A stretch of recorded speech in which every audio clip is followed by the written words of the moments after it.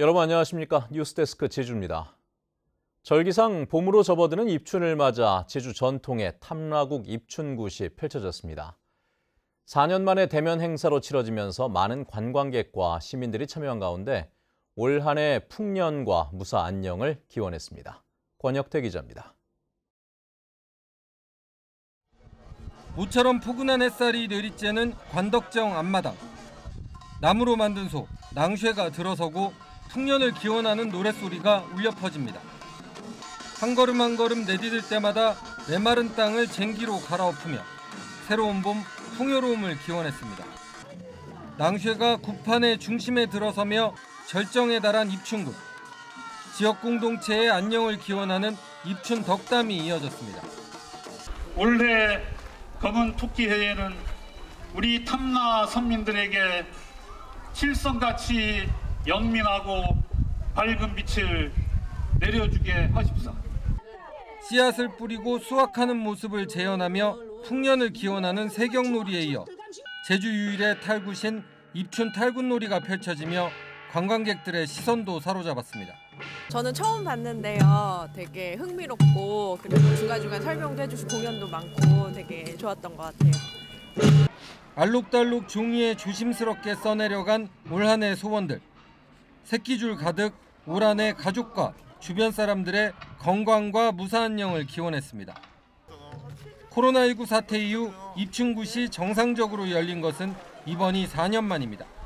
그 모처럼 이런 코로나로 좀 힘들었던 시기를 보냈던 도민들이 함께 모여서 새로운 봄이 오는 이 계절을 좀 맞이하는 그런 의미가 좀 깊지 않나 이렇게 생각이 됩니다.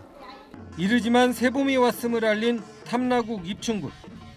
올 한해 희망과 풍요를 기원했습니다. MBC 뉴스 권혁태입니다. 최근 일주일 제주 지역의 코로나19 신규 확진자가 감소세를 보였습니다.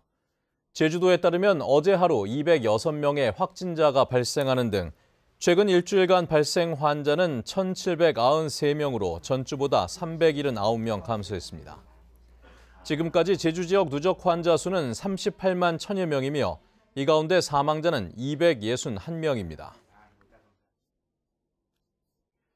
이르면 모레부터 코로나19 신규 확진자를 알리는 재난 문자가 중단됩니다. 제주도는 행정안전부가 지난 3일 단순 확진자 수를 알리는 재난 문자 발송을 중단할 것을 권고함에 따라 내부 논의를 거쳐 이르면 월요일인 6일부터 재난 문자 발송을 중단할 계획입니다. 제주도는 지난 2020년부터 3년여 동안 코로나19 관련 재난 문자 천여 건을 발송해 왔으며 매일 오전 11시경 신규 확진자 수를 재난 문자로 알려온 바도 있습니다. 오영훈 도지사와 지역 국회의원들이 지역 현안 관련 긴급 간담회를 갖습니다. 오 지사와 송재호, 위성권, 김한규 국회의원은 내일 오후 제주도청에서 긴급 간담회를 열고 농업용 전기요금 인상과 난방비 급증에 대한 대책을 논의합니다. 또 7단계 제도 개선안을 담은 제주특별법 개정안의 국회 처리 대책 등 지역 현안에 대한 논의도 함께 이루어질 예정입니다. 뉴스데스크 제주였습니다. 시청해주신 여러분 고맙습니다.